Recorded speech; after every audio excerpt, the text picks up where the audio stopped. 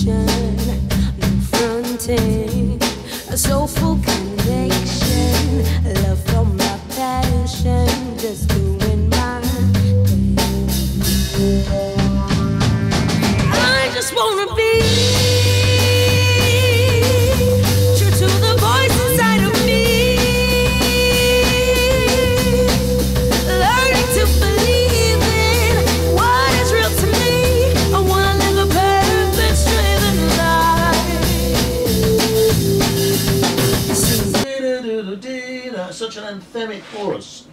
really like the chorus. Both really like the melody. Mm. I just feel it's buried under this thing. I just wanna. Don't know why the temp, the way it has to go double tempo in the, in the in the choruses. Don't get it. He doesn't get it. You know, I think it's just hearing it so fresh, hearing it. No, never heard the song before.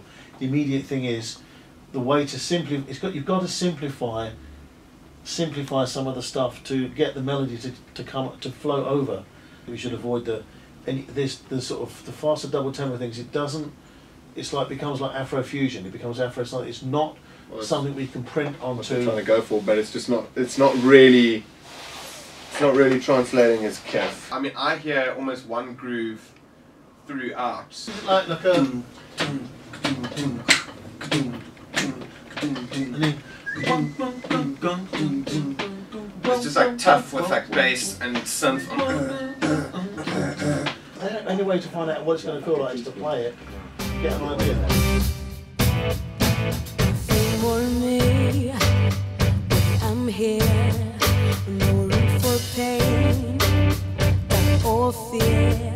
Silence is golden. No need for rushing. Just Just me thoughts engaging in a real conversation.